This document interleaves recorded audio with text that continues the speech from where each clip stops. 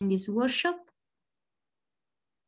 Um, uh, what I will be discussing today is based on these two recent papers that I did in collaboration with uh, Jose Calderon, Matilde Delgado, who are also PhD student at uh, IFT Madrid, and our advisor, Angel Uranga.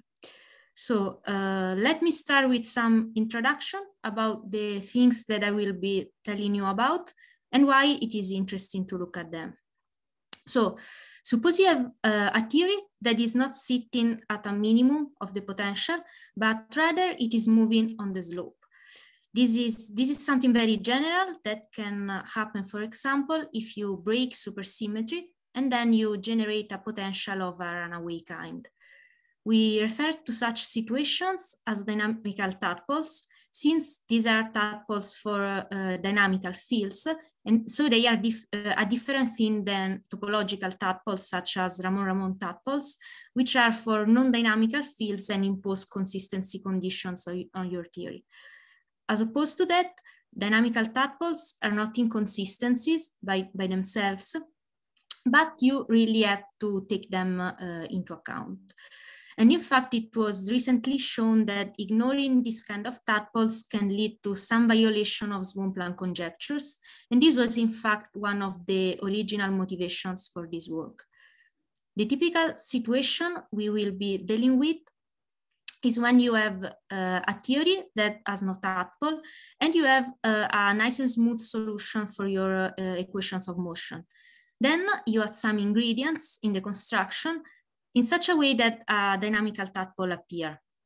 The presence of, of this term in the potential has the effect of destabilizing your solution. Um, and um, since obviously the equation of motions are modified. And then in order to solve the tadpole, you allow your solution to run uh, uh, in such a way that it acquires some dependence on space-time coordinates. And this is the general case, but in fact, we will uh, always be considering space dependence uh, for this talk.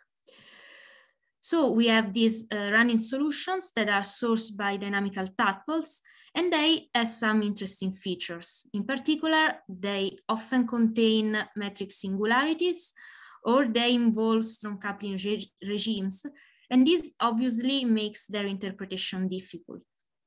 What we can do, and what is also the, the plan for this talk, is to investigate these solutions further by looking at many examples that we have uh, from string theory and see if we can identify some general properties or some universal pattern that is based on this example that we, that we study. Another question that I will address during the talk is how Swampland conjectures um, manifest in this kind of setups. And in particular, I will focus on the Cobordism conjecture since uh, it seems to play a key role in the discussion. Then in the second part of the talk, I will also try to connect with the uh, distance conjecture. Uh, so let me now uh, introduce a bit this uh, conjecture and, and what it is about. This can, can be seen as a particularization of the statement that in, uh, in quantum gravity, you cannot have global symmetries. And this is in a sense the oldest among the Swampland conjectures, and we really have a lot of evidence for it.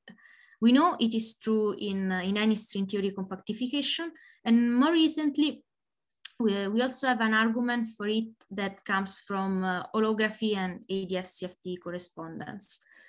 So we expect that there are no global symmetries in quantum gravity. And what uh, McNamara and Vafa proposed was to look at a particular kind of uh, symmetries that we can construct in, in theories of, of, gravity. And the idea is that uh, in gravity, uh, we are allowed to have topology changing transitions. And since uh, topology changing transitions can be interpreted as cobordisms, any uh, topological charge that is associated to a topological symmetry must, also be a cobordism invariant. So uh, if you have a topological charge that is associated to your original manifold M, and there is a topology changing transition that takes you to a different manifold N, this means uh, there is a cobordism between these two manifolds, we require that this topological charge is a cobordism invariant so that it doesn't change uh, uh, in, the, in the transition. And this means that the, um, that a natural global charge to look at is uh, the, the group, uh, which I call omega.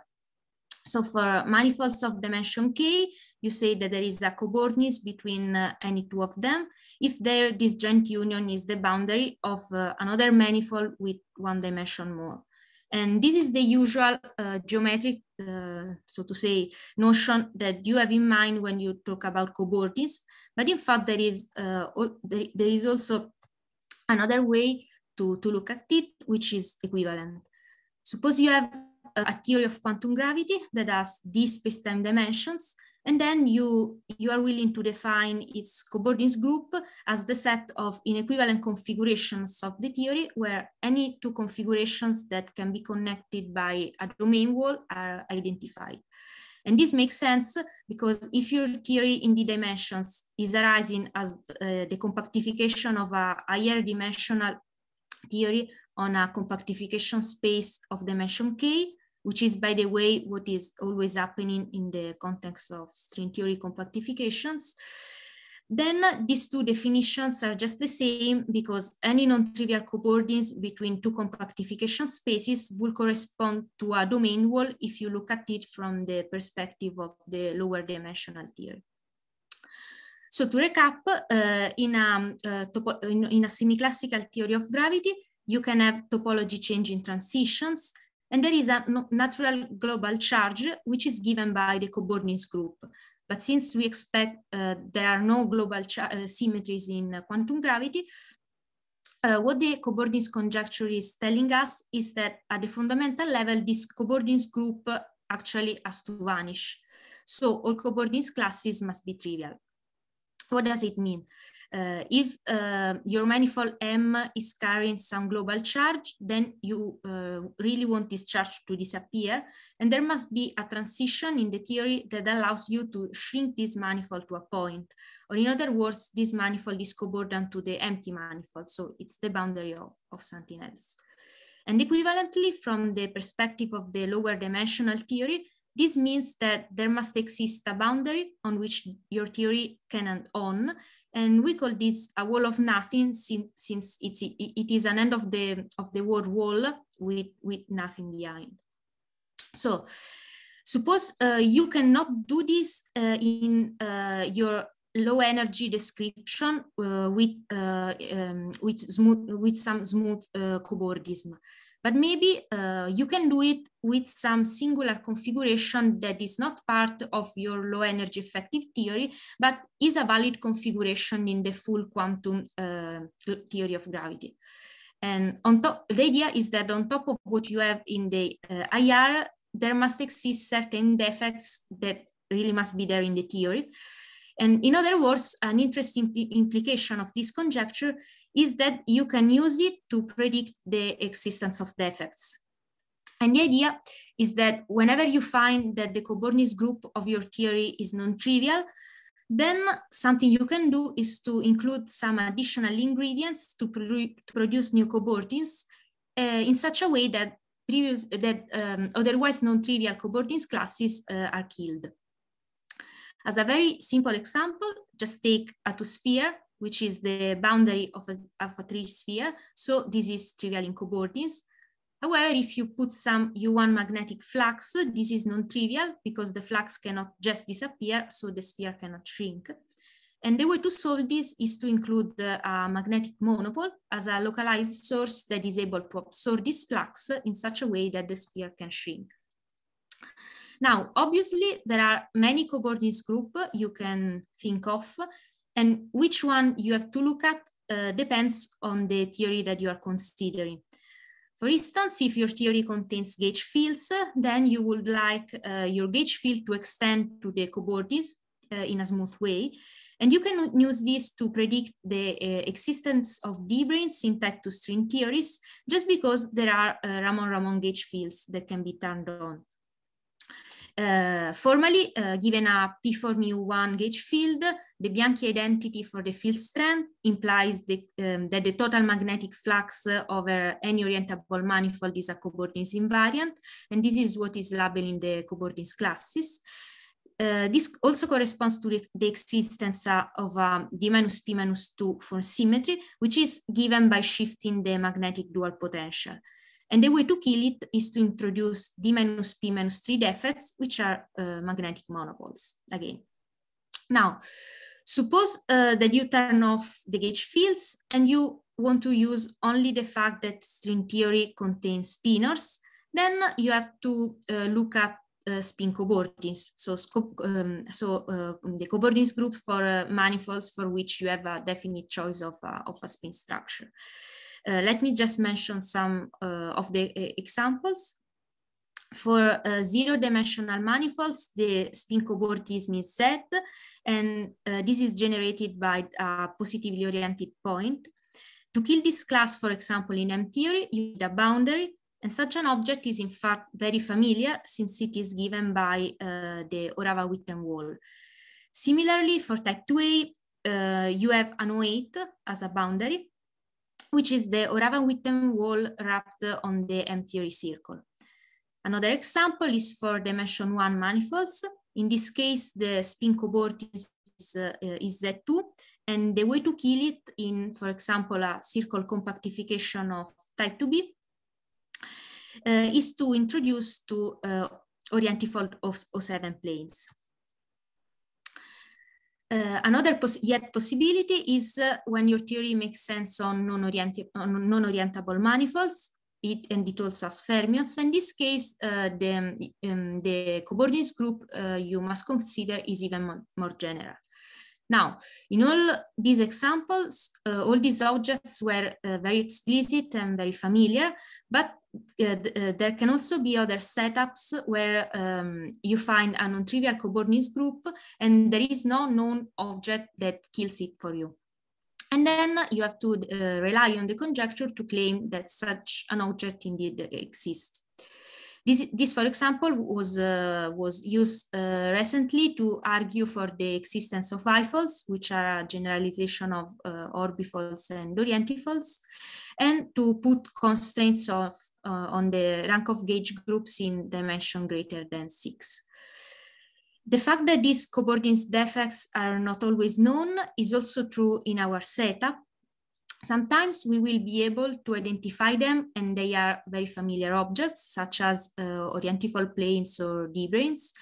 But there were also some cases in which it was not obvious uh, how to characterize them, and we had to rely on the conjecture to claim that such objects indeed uh, existed. Okay, so uh, let us now, sorry, let us now go back to our theories with dynamical tadpoles. There are basically two tadpole lessons that we learned by looking at examples. The first lesson is what we call finite distance. We observe that in the presence of a dynamical tadpole, which is controlled by uh, an order parameter t, the space-time dependent solution of the equation of motion can only extend up to a finite space-time distance, which I call delta. And this delta uh, scales uh, inversely with the strength of the, of the tadpole. So the, the larger the tadpole, the smaller the distance. And this scaling obeys a power law uh, where the exponent, uh, we determine it uh, case by case. And it was always two in Minkowski-like examples and one in ADS-like ones. The, the, second lesson is what we call dynamical cobordism. The proposal is that there must exist a physical mechanism that is able to cut off for you space-time dimensions at this distance scale delta uh, of the finite distance lesson. And this corresponds to the cobordism defect of the original theory with the tadpole.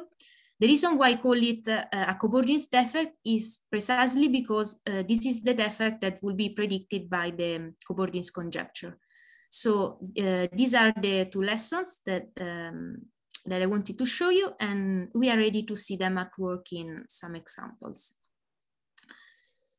Um, the examples that I would like to discuss include the conifold theory, then uh, some toroidal compactifications with triform flux, also magnetized models. Uh, we have um, non-supersymmetric 10D string, strings, in particular the USP32 theory. And finally, uh, um, we will see a model building application where we are able to use these ideas to get a semi-realistic MSSM-like uh, particle physics model. So the first example I want to discuss and which is a prototype for uh, also the, the other ones is based on the near horizon limit of n regular D3 branes at a conifold singularity, which is uh, famously ADS5 times T11 with 10 units of Ramond-Ramond 5-form flux on the T11. This is the Klebanov-Witten solution, which is uh, the first picture on the, on the left. Um, we can consider adding m units of Ramond-Ramond triform flux on the S3 that is inside the T11, but this modification is dramatic and the resulting solution is the Klebanov-Tseytlin solution, which is the picture in the middle. And the reason, I, the reason I say dramatic is because of the next singularity that this solution develops at some finite value of the radial, uh, of the radial coordinate.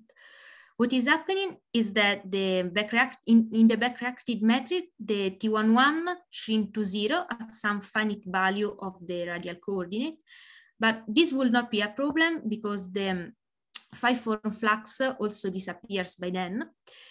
However, the S3 uh, is, um, is supporting the triform flux. This is also shrinking, but the flux is, uh, is constant. So the, the flux density to infinity, the back reaction is also infinite, and this is why you get a singularity. The smoothing out of this singularity was studied by uh, Klebanov and Strassler, and it corresponds to the third picture on the right. The idea is that you can give this S3 a finite size uh, in such a way that the solution terminates in a smooth way. Space-time is capped off uh, at this point in the sense that uh, mm, after, after that you have no meaning for the radial direction. And until now, this was just a review. So let me now to reinterpret the whole thing uh, in, uh, in our language based on uh, tadpole and running solutions. That there is a tadpole for the dilaton can be seen very explicitly from the 5D effective field theory point of view if you look at the 5D uh, action. Introducing uh, m units of, uh, of flux generates a potential for the dilaton, which is this blue term and uh, which as, as, you see is, uh, is um, of a runaway kind and has no minimum. So in the dilaton uh, equation of motion, there is um, a source term and the only way to balance it uh, and keeping the dilaton constant is to introduce some space-time dependence for some other scalar, which is uh, the NSNS axion that comes from integrating the NSNS2 form over the two sphere inside the T11. So in this way, the tadpole is solved and the specific space-time dependence that you get is this uh, logarithmic running in the, in the radial direction. This is uh, also equivalent to introduce uh, NS, NS triform flux, which has two legs uh, along the S2 and one other leg uh, uh, in the radial direction in, in space-time. So that the combination of the, the triform fluxes is imaginary self-dual. Then we can compute the distance to the singularity and compare it with the tadpole. And what we get is in agreement with the finite distance lesson with a scaling coefficient equal to one. In this language, the Klebanov-Strassler solution is providing you with the cobordism defect you need for our uh, dynamical cobordism lesson. The, the next example uh, is also based on triform fluxes but now uh, in the context of uh, toroidal compactifications. So consider type 2b uh, on uh, A5 torus with Ramond-Ramond triform flux along the direction uh, x1, x2, and x3 inside the, inside the T5. This introduces a tadpole for the dilaton. And in fact, the equation of motion that you get is uh, very similar to the, the one that we had before. Uh, the way to solve it is also very similar since you can introduce some uh, NSNS trifor, which has two legs uh, along the compact direction y1 and y2, and another, another leg in one of the space-time directions, um, which I call y. Since the combination of these fluxes is uh, imaginary self-dual, it is easy to study the back reaction on the metric. It is convenient that we put this uh, y coordinate together with the coordinate of the torus, uh, so, so to get complex coordinates Z1, Z2, and Z3. The warp factor obeys a Laplace equation that is sourced by the F3 flux and in particular, uh, uh, it develops two singularities at some finite values of the, uh, of the y coordinate. Also, if you compute the distance between these two singularities, uh, you can check that this distance is finite and it obeys the scaling law of our finite distance lesson with scaling coefficient equal to, uh, equal to two. The last step is that we have to identify the cobordism defect that is able to remove these singularities and make this direction compact. Uh, this this um, defect of 2b on T5 is provided by orientifold O3 planes, which will appear as source in, this, in the Laplace equation. And in the end, what we get is a compactification uh, on, uh, on T6. Uh, this is of course familiar and what is new is that uh, is that the 4D model is obtained in into steps. You start from a 5D model and then you end up in 4D.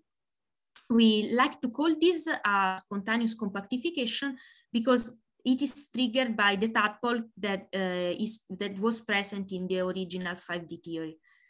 Um, the way to solve the tadpole, uh, as we saw, is to introduce dependence on a spatial coordinate. And what we discover is that this coordinate uh, along which uh, you run is forced to be compact. So uh, let me move to um, uh, the next example. Um, we consider type 2b compactified on a T4 where the orientifold action uh, is flipping the coordinate of the first T2. There are four um, orientifold of O7s that are localized at the fixed points of the first T2, and also 16 D7 branes, and of course their orientifold images. Something we can do is to introduce M units of uh, D7 worldvolume magnetic triform flux along the, the second torus. And this breaks supersymmetry and generates a tadpole for the dilaton and the Kähler modulus of the T2. One way to see this is that the charge of these objects cancel, but there is some unbalanced uh, extra tension. So the, now the interesting part comes, that is we have to solve the tadpole. One possibility that we have is to introduce magnetization along two of the six non-compact coordinates, which I call uh, Z3, in such a way that the combination of fluxes you get is supersymmetric. Then the discussion of the back reaction can be carried out in a way similar to our previous example, uh, if you consider the, the lift-to-F theory. In the, uh, in the theory picture, uh, our volume magnetic flux corresponds to uh, G4 flux. Then you can look at the work metric. And again, uh, you find that the uh, warp factor uh, is singular uh, and that the singularities are separated by a finite distance. That is, by the way, inversely related to the tadpole. And the way in which these singularities can be removed is again by making these two, uh, these two um, directions compact and the cobordism defect that you, that you get are uh, some extra orientifold O7 planes and D7 branes. The next example that I want to show you is quite interesting since it has to do with uh, non-supersymmetric 10D strings. Uh, and in fact, as, as soon as you try to formulate these uh, non-supersymmetric string theories, tadpole will, will appear because you have no protection by supersymmetry.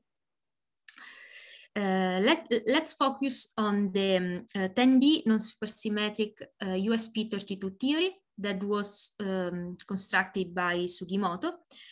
This is uh, um, this can be obtained as an orientifold of type 2b, which is very similar to type 1. And the difference is that you have a positively charged orientifold O9 uh, instead of uh, a negatively charged one. So this is why you have the um, SP projection. Cancellation of Ramond-Ramond tadpoles requires that you int also introduce 32 anti-D9s, and the resulting theory is, uh, is anomaly-free. There is no space-time supersymmetry, and there is a dilaton tadpole, which is this blue term here that appear as a cosmological constant term in the 10D action. Uh, this implies that the theory does not ad admit a, um, a maximally symmetric uh, vacuum and solutions with lower lower super uh, low, lower symmetry must be must be looked for. Actually, there is a solution with 9D uh, Poincare invariance, which was originally found by Dudas and Mourad. And this is a running solution where both the metric and the dilaton depend on uh, one of the special coordinates, which I called y. There are two singul singularities. One is at zero and one at infinity, but despite appearances, these are separated by a finite distance something that was already noted uh, in the original paper by, by Dudas and Mourad. And it is also easy to check that uh, the, this distance obeys our scaling law with exponent uh, n equal to 2. Now, a legitimate question to ask is uh, which is the cobordism defect that is able to uh, remove these singularities. The answer is that we do not know. So uh, in, in a sense, we stop at the same point where Dudas Samura did in their paper, what we can say is that uh, su such an object uh, should exist by, by the Cobordism conjecture. And in fact, it was recently proposed that uh, such an object is given by AD8. However, there is also uh, um, another way to solve the tadpole, which is to introduce magnetization and I will be sketchy about it because uh, this um, uh, this is not this is not uh, new. We already saw uh, saw it in the other examples.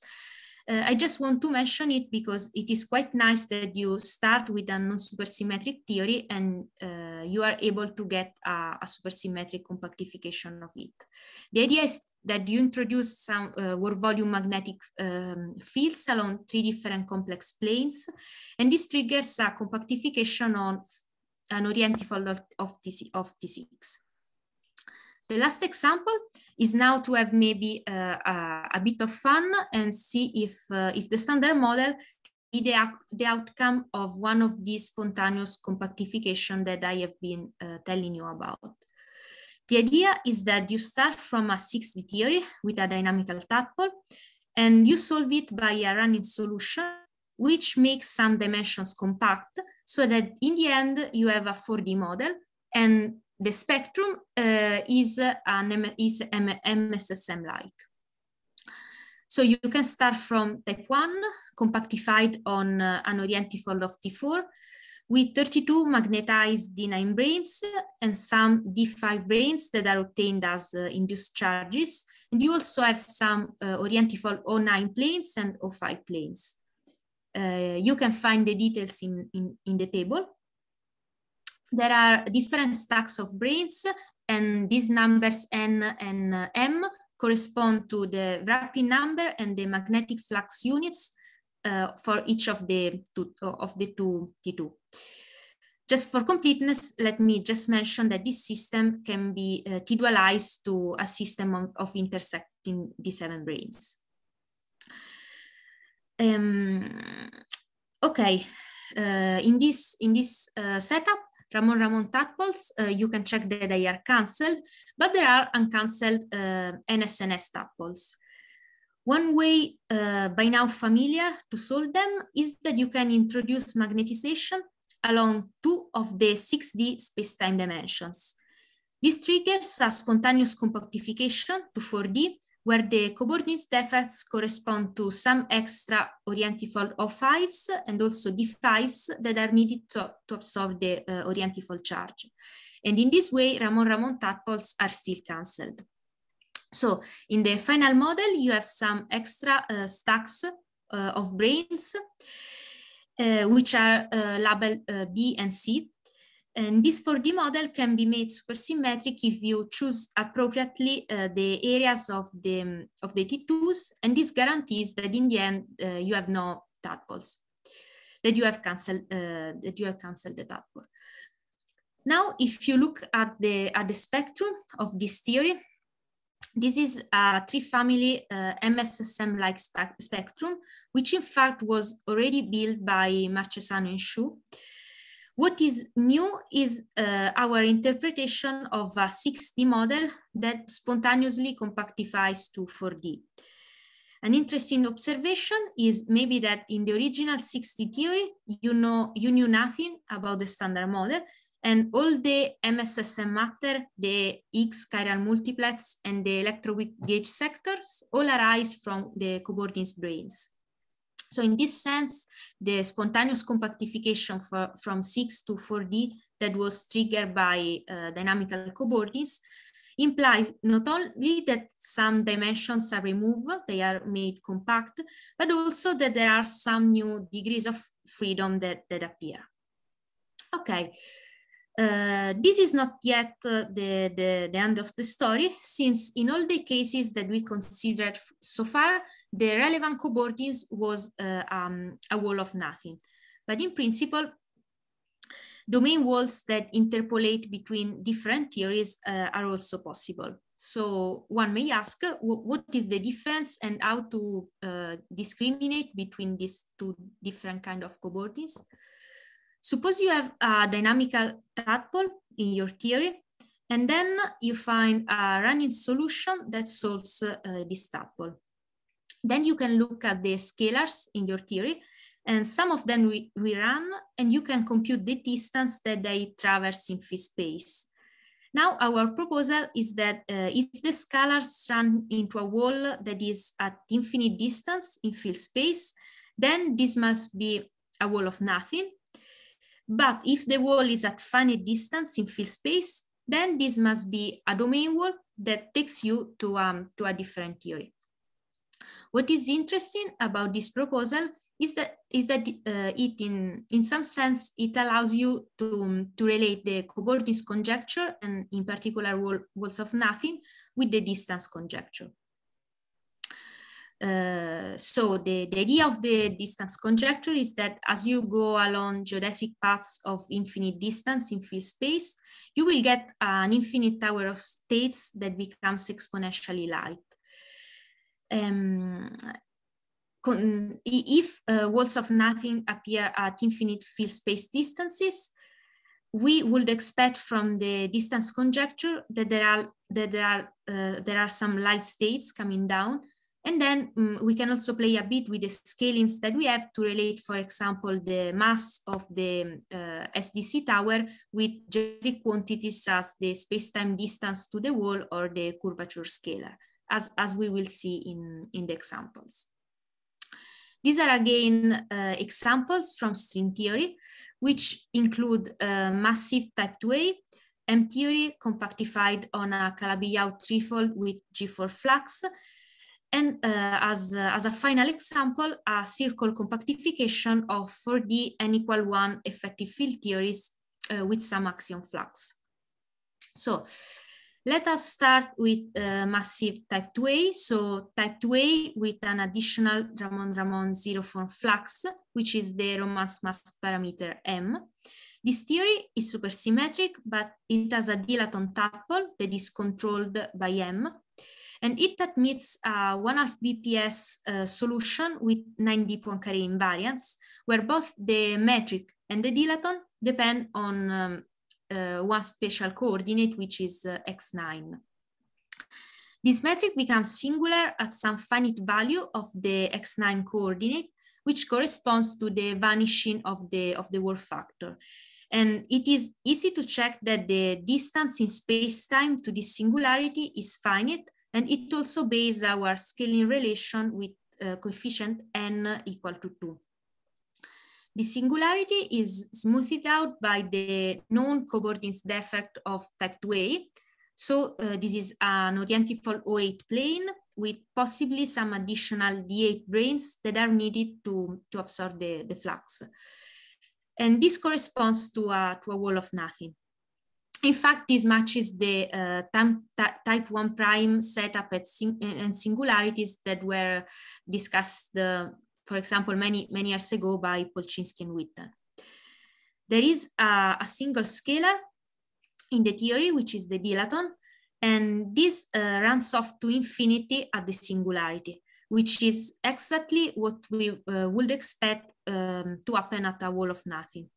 We can also compute the distance in spacetime and the curvature scalar in terms of the distance in field space, and then relate them to the mass of the light states. And in both cases, we get some power law scaling.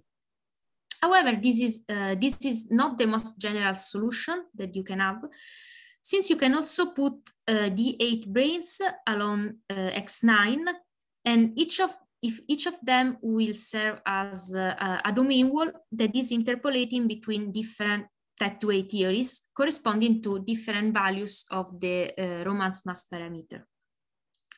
The form of the solution is the same we had before, except that now this function z is piecewise linear with different slopes between each pair of, um, of D8. This means in particular that the dilaton stays finite across the domain walls, and this is in agreement with uh, our general picture.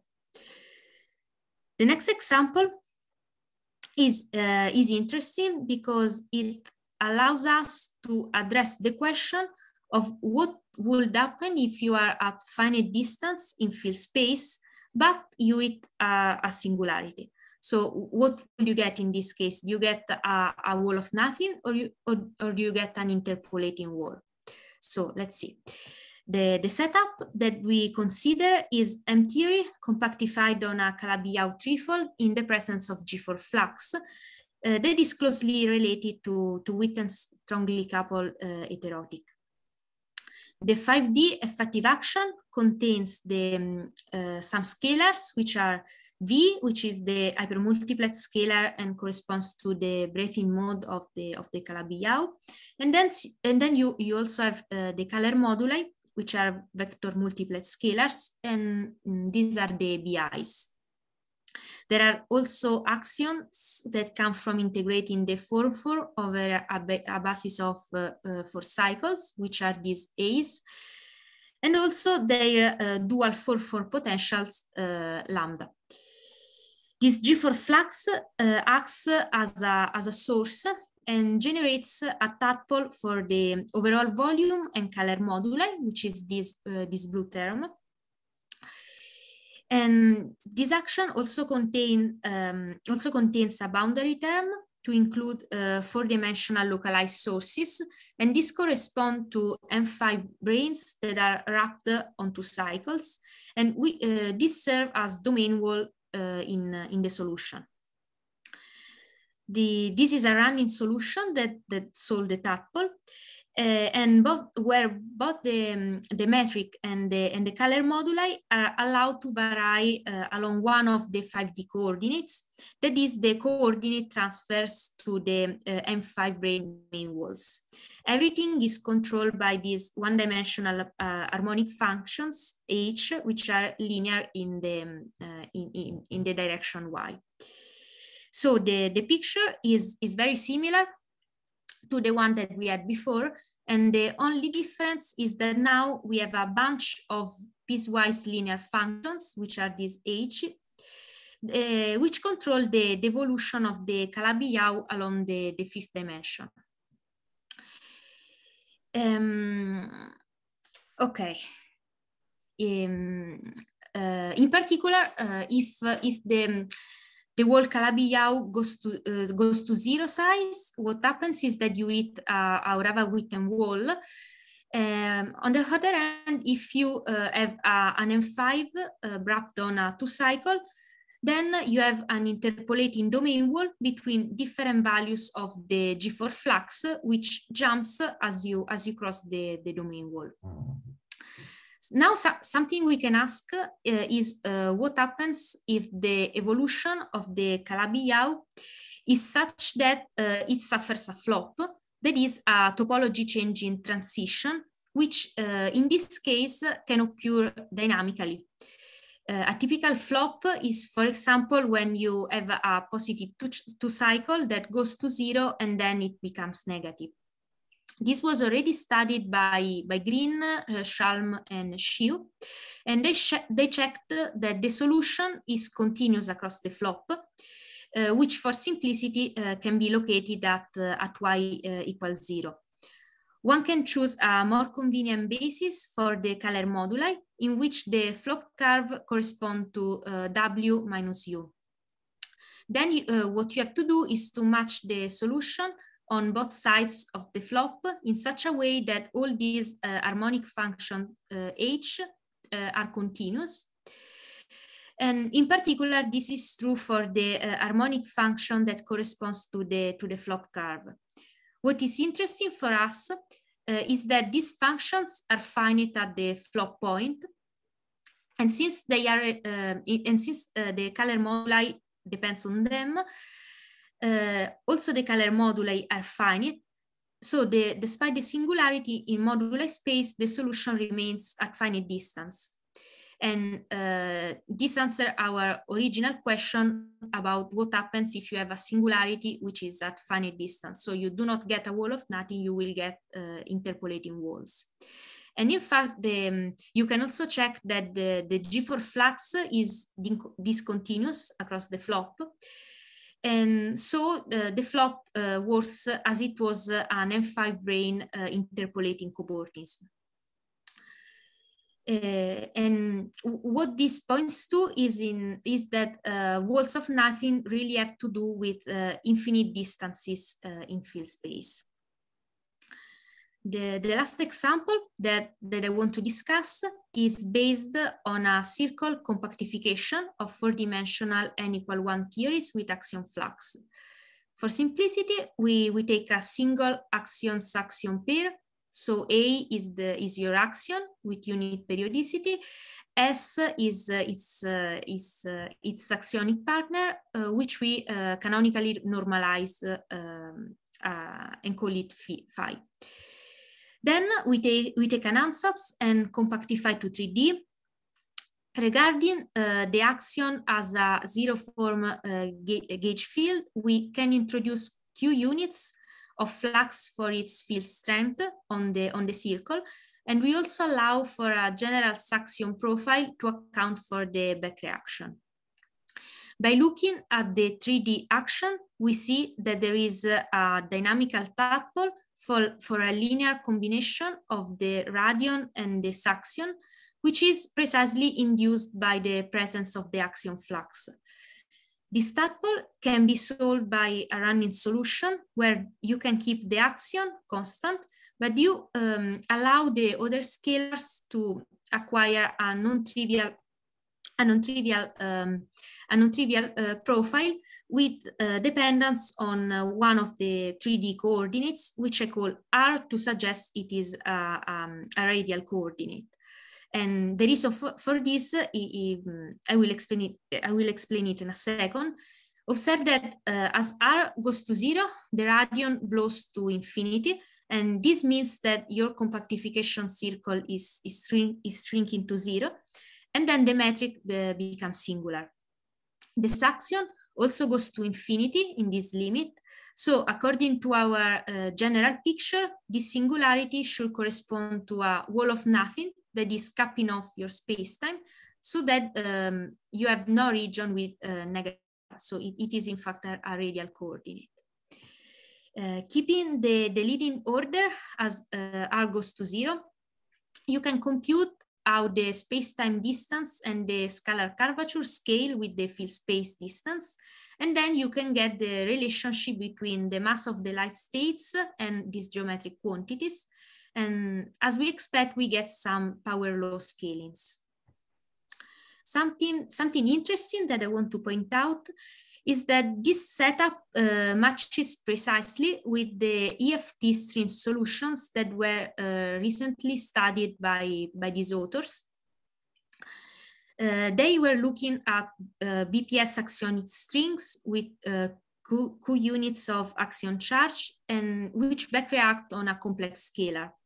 And there is, uh, there is in fact a clear dictionary uh, between our running solution in the S1 compactification and their uh, EFT strings. Namely, the, the, the angle around the string maps to our compactification circle. Then the, the string monodromy for the axion uh, to the axion flux around the uh, uh, maps to the axion flux on the on the S1. The, the radial coordinate in the complex plane around the string um, uh, sorry, I was lost. So the, the radial coordinate the, uh, in the complex plane uh, around the string maps to the direction of the running. So the, the running along the coordinate r. And, uh, and this is semi-infinite uh, because you have a wall of nothing uh, at the singularity. Uh, then um, the, the string back reaction on the axion, which is realized as the string RG flow, maps to the running of the axion that for us is sourced by the dynamical tadpole induced by the axion flux.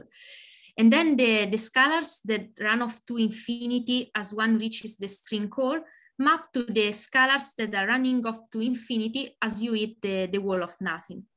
In particular, the fact that this wall of nothing cannot be described uh, within the effective theory exactly correspond to the fact that uh, in the in the EFT string setup, the EFT string is regarded uh, as as an UV given defect. The, the upshot of, um, of the analysis in this uh, uh, Lanza et al. paper was um, the, distant, the distance axionic string conjecture, which states that uh, infinite, uh, every infinite field distance limit uh, of a 4D n equal 1 EFT consistent with quantum gravity can be realized as an RG flow UV endpoint of uh, an EFT string.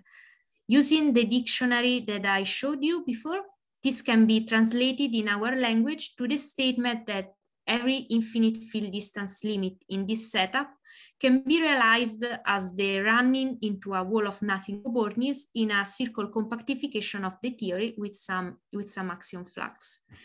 Then we can may, make a, a wild jump and uh, suggest that this may even be more, more general so that uh, every infinite field distance limit of an EFT consistent with quantum gravity can be realized as the running into a wall of nothing cobordism in the, in the theory or in a compactification of the theory. So um, uh, I was maybe faster than I thought, but uh, I, I, I, um, I, I, I, can conclude at this point. So let me recap. What, what we did was to study the, the properties of uh, space-dependent solutions in theories with dynamical tadpoles. What we learned was that this solution must have a finite ex extent, which is inversely related to the tadpole. And on top of that, there is a, a physical mechanism by which space-time is cut off. And this is provided by the cobordism defect of the cobordism, of the cobordism conjecture. Um, uh, one natural question that one uh, can still ask is, uh, is about time dependence. And this would imply a singularity in time, so uh, it will certainly be interesting to look at that also from a, a phenomenological or cosmological perspective. Um, then we, we try to connect with the, the, distance, the distance conjecture. And what we saw uh, is that um, uh, infin infin ah, uh, that inf infinity in field space is, is really connected with, with walls of nothing. And then uh, one, one question that, that will be interesting to explore is whether there are other uh, Swampland conjectures that enter this uh, this tadpole game. So we we hope to address this this question in the in the future. And with this, I I I think I can conclude, and I I thank you for for your attention.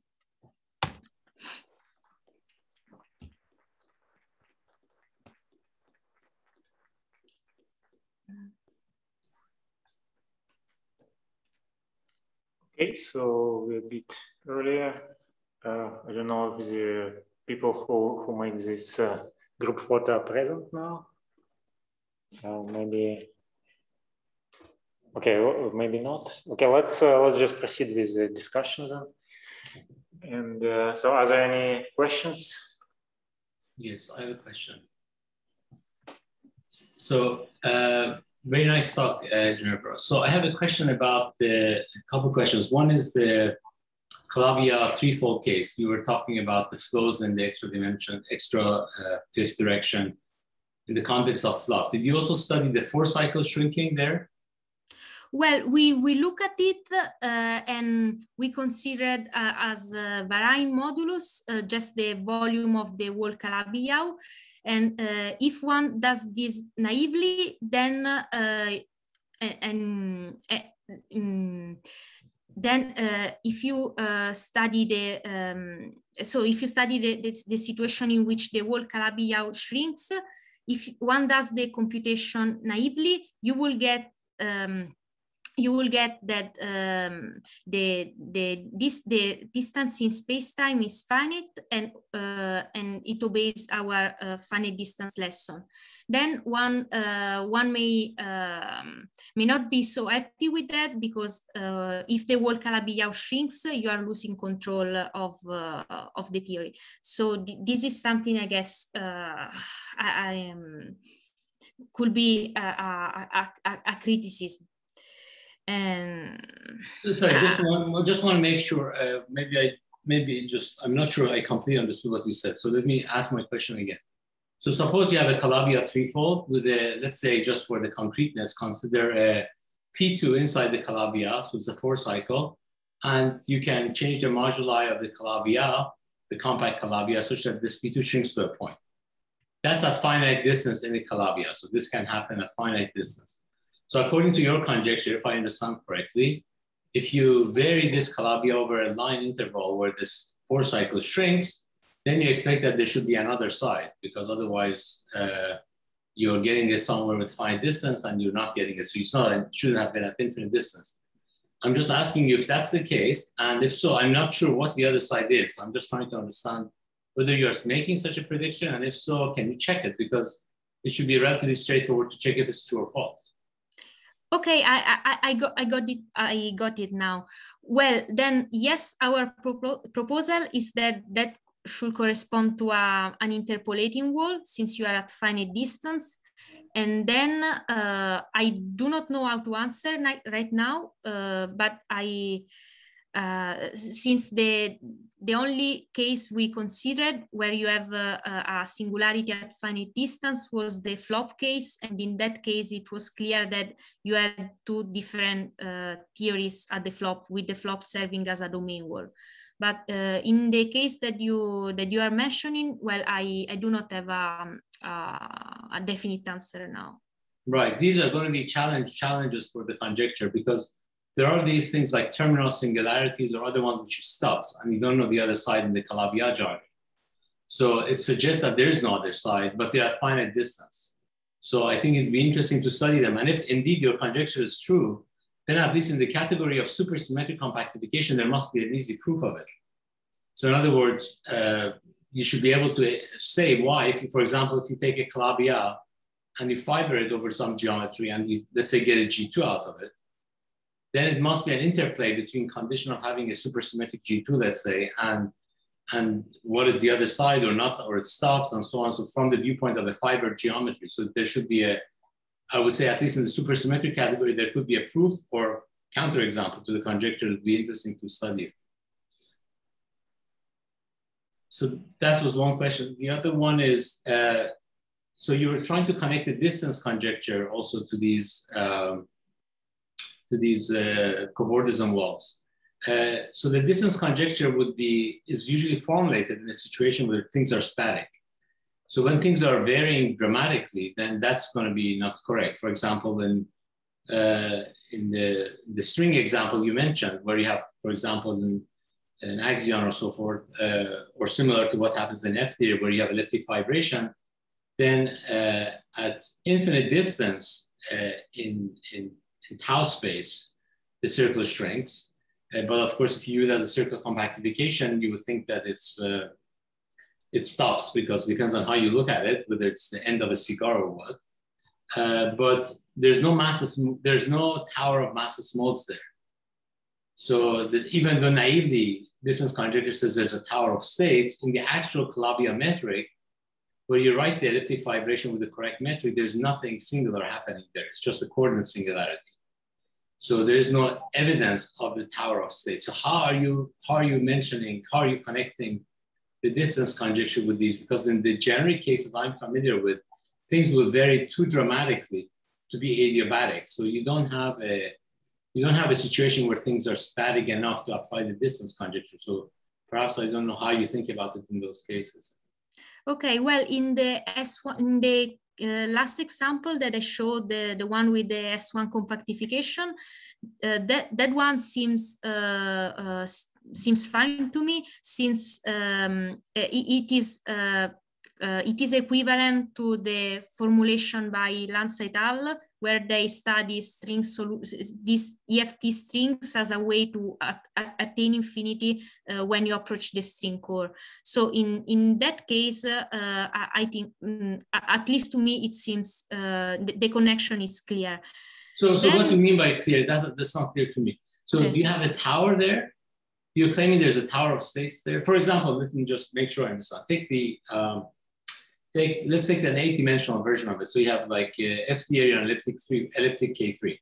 So you have a P1 and there are some points where elliptic fibration shrinks at some point. So elliptic fibration shrinking means tau goes to infinity and therefore it's an infinite distance in tau space. Uh, but there is no tower of states near the D7 brane. So in the F theory description, there's a D7 brane and there's no a priori tower. So what do you mean by that tower? I'm not, I'm missing it. I'm not quite understanding your statement. Okay, well, uh, it, it is true that uh, we are we are not able to identify, I would say, any concrete tower in the in uh, in the in, in the examples we looked at. What we um, the, the the reason why we uh, I mean, the, the, the, way in which we were trying to connect with the distance conjecture was just to say, okay, um, whenever we, we, we observe that whenever we run into a wall of nothing, there are scalars that are um, running off to infinity if you look at the distance travels, travel in, in field space. So um, we are not claiming that we are able to identify any, any, any tower indeed. So. Cool. Thank you. Other, other questions or comments?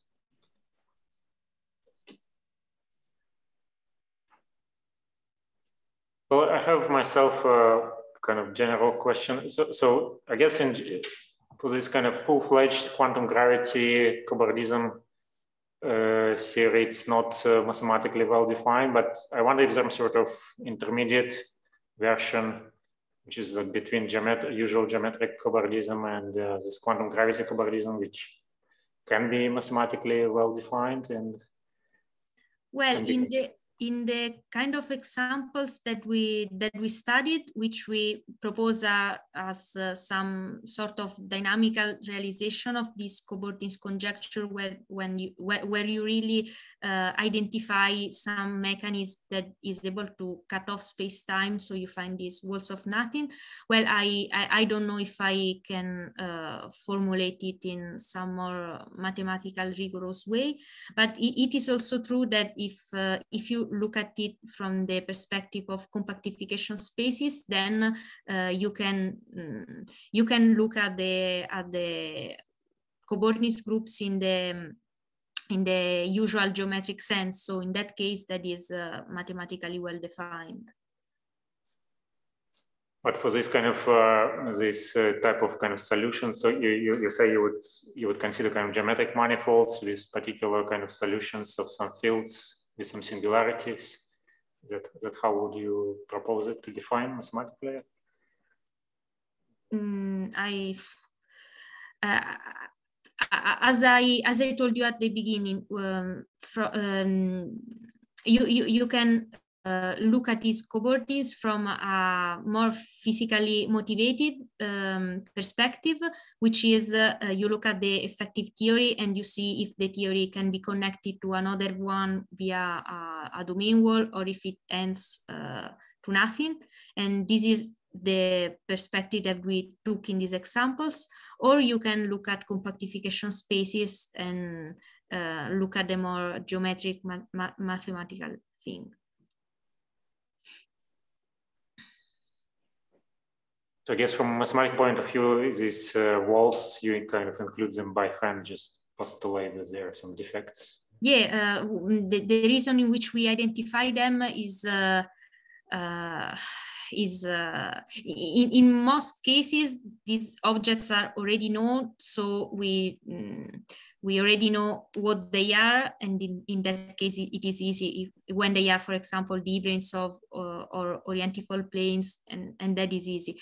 There was for there was uh, the um, the usp32 case which was more subtle because in that case it was not obvious which the defect was. And in fact in that case we we we were not able to identify it. Okay, thanks. Maybe, I have a question related to what you just were discussing. So in some cases, as you said, we don't know how to identify these domain walls. And uh, in the paper we wrote with Jake, uh, we had examples that we didn't know how to construct. And a simple example of this type to be in 10 dimensions, and we expect that to have a boundary.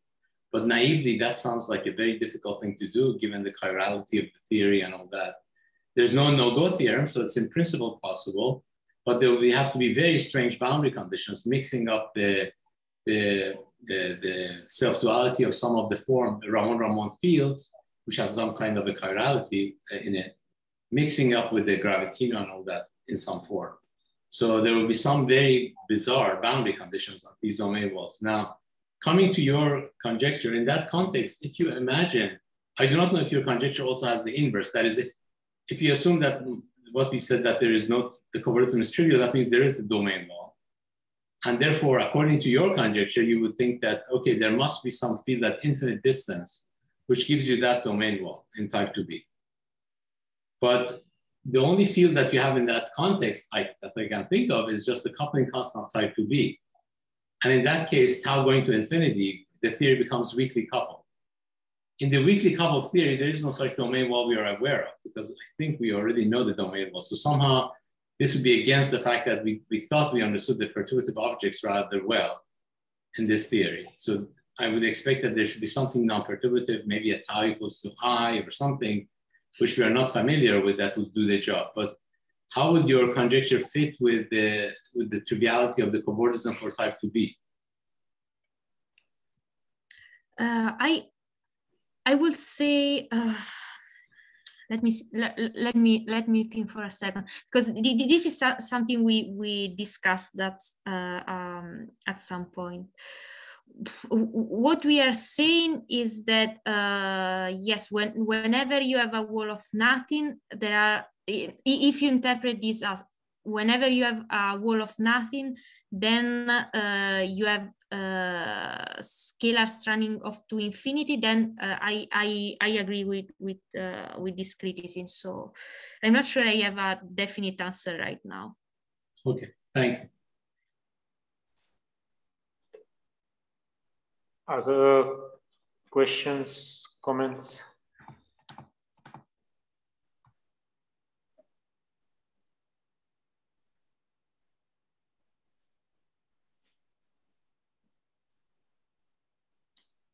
Okay, uh, if not, let us thank uh, Ginevra again for a talk, for the talk and uh, discussion.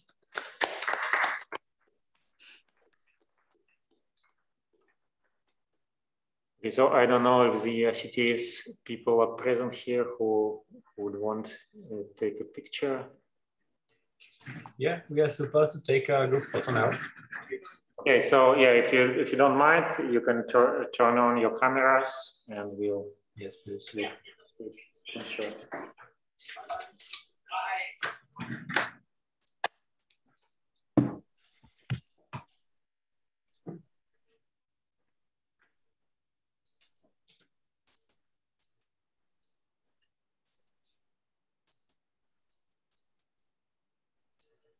Okay, someone is missing.